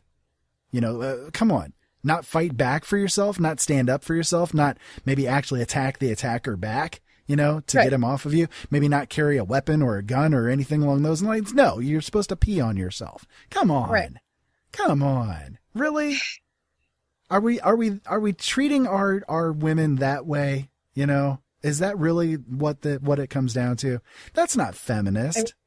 to to me it's saying that because of the fact that we're a woman that we can't protect ourselves Yeah. Yeah. Um, I, I've, I've got a couple of other things here for you that, that, uh, kind of go into this. This is, uh, something that I ran across that, that goes into the, um, topics that most radical feminists speak about. So, like one of them is you, uh, don't teach girls how to avoid rape. Instead, you teach men not to rape. Okay. But the thing is that I know for, I, for one, would never rape somebody. You know, I, I've never done it. I never will. The, The vast majority of men out there wouldn't do it. You know, we already That- know perfectly well not to rape. that whole mindset makes me so angry The rape A lot of culture people- thing. a lot of people use that argument against abortion because oh well if it's a rape baby maybe the people shouldn't just rape or should just not rape okay well rape still happens whether or not people tell them not to rape Yeah, yeah, exactly. In fact, uh, according to statistics that I found, um, it's about four to six percent of men who do commit sexual assaults. Okay, Mhm. and they're not going to be like changed by any kind of anti-rape education because they don't give a crap about what society thinks about them. They're sociopaths and they're sexual predators. Okay. So they're not going to care whether or not somebody teaches them not to rape. They're going to rape. They're a rapist. That's that's what it comes down to. But it's it's a small percentage of of people who are that way. Okay. I also have to say, in regards to this whole rape uh, culture perspective thing that we're talking about, I do have to say, as far as the people that say, because I've heard this argument so many times, that um, when it comes to people saying that, oh, I was raped, and it's there's so many apparently false rape cases, when in fact the amount of actual false rape cases that there are is about 2 to 3%. Yeah. Yeah. And the fact that 92% of rapists get away and aren't prosecuted at all is a horribly staggering statistic. Yeah. Yeah, absolutely. Teaching women to defend themselves or take precautions against sexual uh, assault amounts to victim blaming. Mm-hmm. That's what they claim. They say that a woman should be able to walk stark naked down Main Street and not be raped. She should have the right to wear exactly what she feels like and no matter how sexy or revealing and not be raped. She Mhm. should have the right to drink herself, to, you know, completely into a stupor and not be raped. And she should have the right to go over wherever she wants, even down the darkest alley in the dead of night and not be raped. Now, here's the problem with that. There are no such rights. Right. I mean, I say, yes, we should be able to do that. But at the same time, that's not reality. Well, the, the the thing is, okay, listen, you're you're talking to somebody who was raped. Okay, I was raped myself. I was raped because I didn't take precautions. Mm-hmm. Because I didn't know how to defend myself, because I didn't know how to fight back, and I didn't know what to do to look around myself and be aware of things that are going on. Okay. Mhm. So, was it my fault? No. But to to try to say that you have the right to walk naked down the street or the right not to be prepared and on and on and on is is dumb. It, you don't have that right. There is no such right. You have you have inalienable rights that are given to you by the creator, but that certainly ain't one of them. Exactly. You know what I mean? You have the right to be precautious. You, you know, cautious. You have the right to take precautions, to be prepared for whatever it is that may come along and know that you're going to be capable of defending yourself no matter what comes along. That's Right. what you have the right to do. And you have the right to react to whatever happens to you in the way that you wish to react. It's just a matter of common sense, you know? It's, it's like, um, I, I don't know. It's like, it's like going to a river or going to to like let's let's say in a desert. Okay, you go into like the the big areas, the channels where water goes through in a flash flood, right? Right. You can stand in one of those arroyos and and wait for the water to come, and then as the water is coming on top of you and piling over you, and you're starting to drown, you say this is the water's fault. No, it wasn't the water's fault. It was your fault for standing there. Well, it's kind of like the uh, the the case where the baby is sitting in the crib and they throw a flashbang grenade in it, and apparently it's the baby's fault. It's the baby's fault. Exactly. Exactly. I don't know. It's just, you know, the the mindset that some of these things really really have. It's it's crazy, you know. Um they they teach people they they teach women to be in a constant state of fear of men, you know. And this is this is really I think the biggest tool of this whole rape culture mentality is hmm. that fear aspect. They demonize literally half of the society that we live in, and then they mm-hmm. turn the rest of the people into these quaking, shaking victims who flinch at every single male shaped shadow that happens to come along. exactly. And and it's just they say they say oh well not all men are rapists but then they turn around and do this kind of stuff and they foment mistrust in all men you know no matter if they're your father your brother your your son husband no matter what they they are given this state of fear Exactly.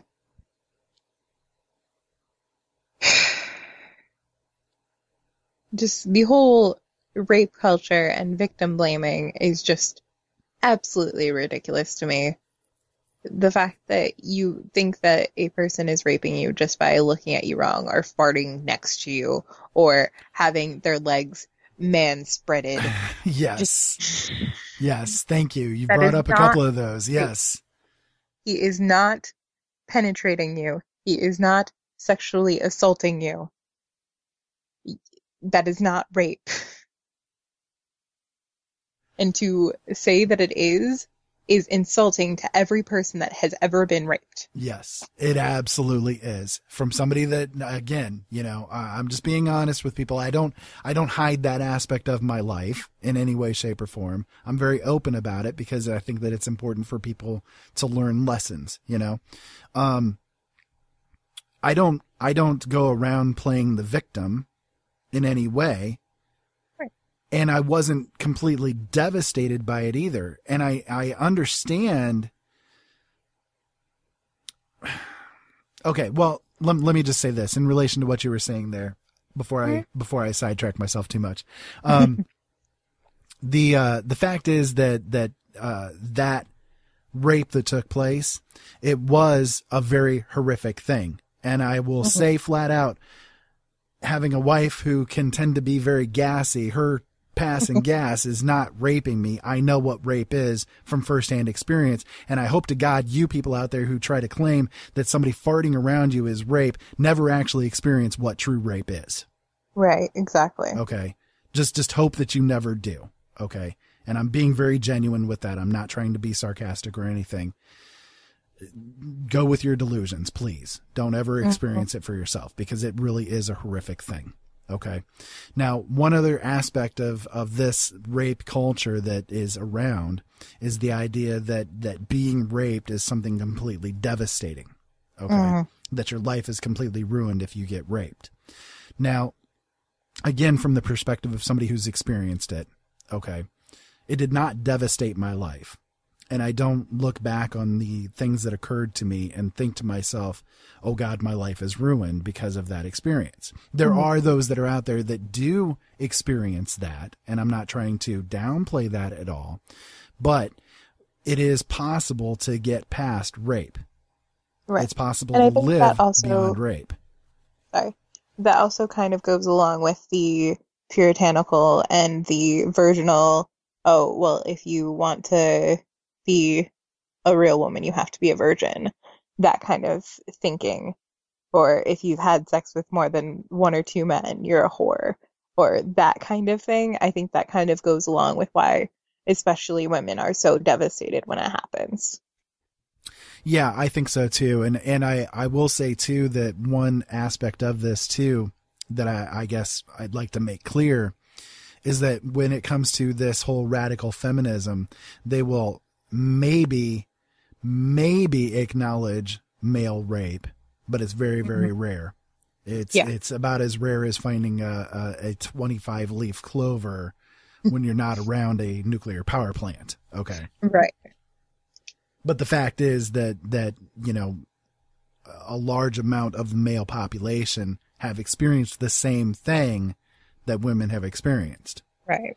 And in And- fact, I will say actually from from my perspective, from what I've seen, for a man to be raped, it's actually uh, an even more psychologically damaging process than it is for a lot of women that are out there. So just just saying, you know, I'm not I'm not again trying to downplay, but I'm just saying, you know, for for a guy to be raped, um, you know, for women when women uh, when a woman is raped, they they have at least some support system that's there in Mhm. place. Guys don't have that. We don't have Right. that at all. We cannot tell another guy as a general rule, "Hey, by the way, I was raped." You know, Right. yeah. Whereas So a woman can say, can oh, at you're least not. It's not possible for you to be raped because Exactly. men are sexual creatures. Exactly. Thank you very much. That's exactly what is claimed by 90% of the people that are out there, and it drives me nuts. You know? Because it's the I- opposite I- of the truth. the other thing is with like just general domestic abuse and sexual violence and everything with women we have shelters where we can get away Can't do and that as a there's guy. many many homeless cent- uh, shelters and things like that towards women but they don't have that for men No, absolutely not. I know for me, it, it excuse me. Um, you know, when I was in a very abusive relationship, which was one of my wives, um, I had to rely on somebody else to get me out of the situation because there was no shelter for me to go to. There was Right. no way that I could escape, you know? It was literally I was there or I wasn't going to be anywhere, you know, because I had nowhere to go. So, yeah, you're absolutely right. The the there are structures, there is a a support system that's put in place for women, but you don't see that for guys. and, on the same coin as sorry on the same coin as the women getting raped is different from men being raped because men can't be raped because they're sexual creatures they also apparently can't be abused because women are weaker than men Yeah. and that's i think a lot of the reason why they don't have the v- domestic violence shelters for men is because people believe that because of the fact that they are stronger quote unquote they can deal with the fact that they're being abused. And I'm not a weak guy, but I know a lot of women who are a lot stronger than me. I'll just say that. so, but you know, you're you're right. The it, it's it's sad to me to see that that something that could be a point of equality is being used as a point of division Exactly. Because we could come together with it and say, by the way, hey, both of us, both sexes experience this kind of thing. We both know and understand what each other are going through. Mm-hmm. And it's sad to me that it's being used as a point of division instead. So, yeah. Um, what do you think? Uh, we've got a few minutes left here, and and I want to change the topic a little bit, but not not much. We're we're going to keep talking about this uh, type of thing. A lesbian couple in Ithaca, New York, are raising their child to be genderless. Okay. They refuse to call him a boy or a girl and allow the, the child to choose his gender uh, identity during the teenage years. And apparently they're not alone. Most people, you know, there, there are a lot of people that are out there that do this kind of thing. Um, for this couple in particular, they say, uh, they, they call, uh, they call their child a boy chick. Um, which is weird. And and they identify him as a self-identified queer identified male partnered monogamist type of situation. They describe their boy chick uh, as a male assigned at birth and so far apparently comfortable with that assignment while currently able bodied, congenitally hypothyroid, co sleeper, former breastfed toddler, elimination communication graduate, sling baby and early walker, trial and terror, cliched light of life and impetus for their being, the odds are good that they that he will be the most privileged of persons, which is a middle class, able bodied, cisgender, straight white male. Mm-hmm. My God, that is a lot to get out. Are we supposed to do that kind of thing now when it comes to describing our child or ourselves? Are we supposed to go through this whole litany of bullshit every time that we want to say, I'm either a guy or a girl? Right, apparently. I know personally, I no matter what gender of child I have, because I don't know what the gender is yet, I won't know for another month or so. But no matter what the gender is, I don't want my child to be really exposed or called by the gender stereotypes. Like, I don't want people to say, oh, well, boys will be boys, or have the, like, oh, you're such a little pretty princess, that kind yeah, of thing. I don't disagree with that. But Because I know a lot I'm of guys that to- are great with doll- dolls, you know? right. I, I also I'm not doing the oh well your child doesn't have a gender because Yeah. they are born with a gender. Yeah. Just how it works. Whether they But- identify with that one or not, that's that's a totally Right. different subject. But and that's something for, in my opinion that they can decide when they're older and they have a more developed mind. and and you know just based upon the fact that they have a PP or a hoo ha, that you know they can be called one or the other for at least that brief period of time. Exactly. Well, listen, we're out of time. Uh, I want to give you uh, like maybe just a few seconds here to get out any kind of final thoughts that you have. Well, I guess my final thoughts is just kind of, you know, we're all human. We all have the same soul. We all have the same kind of mindset. I mean, we're all human. So no matter what gender or skin color or race or sexuality that you have, we're all human and we all share the same consciousness and we're all here for the same reason. Absolutely, I could not agree more. So, guys, I hope that you guys have enjoyed this episode tonight. I know that I really enjoyed bringing it to you. Um, if you want to go to the show notes for this show, you can go to openeyesnetwork.com forward slash OE126. If you want to send me an email, you can send it to feedback at openeyesnetwork.com, and I welcome anything and everything that you guys have to say. If you want to go to my Facebook or Twitter pages, those are at um, Open Eyes Network on both of those platforms. And uh, I'm not sure what the topic is going to be on Wednesday yet, but pay attention to my social feeds because I will make sure to mention it to you. Uh, again, Open Eyes Network on both uh, Twitter and Facebook. So until next time, keep safe out there and have fun. And thank you, as always, for listening.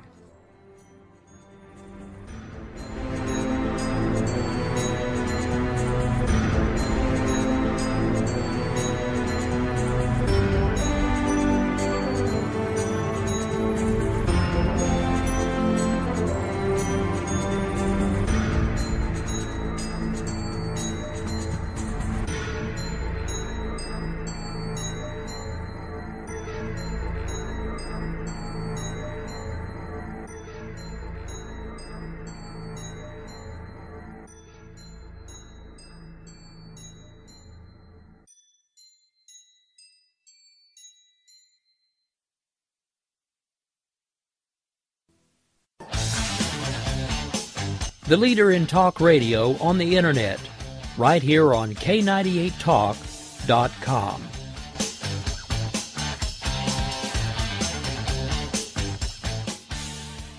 When our water heater broke down last month, it was a nightmare. It took five hours for the plumber to show up, and he charged us a couple of hundred bucks just to come out. Then it cost another $1,800 to put in the new water heater. By the time it was all said and done, I felt like I'd been taken. But what else could I do? The smartest thing you can do is get a home warranty from American Residential Warranty. Their home warranties pay to repair or replace all your major appliances when they break, and they will break, and at the worst possible time. Call American Residential Warranty right now for free information on home warranties starting at just pennies a day. Don't wait for your refrigerator to stop running or your ceiling fans to stop turning. Call American Residential Warranty right now. Ask how you can save up to to 50% on washer and dryer coverage. Just call 1-800-513-6154. That's 1-800-513-6154. Again, 1-800-513-6154. Call now.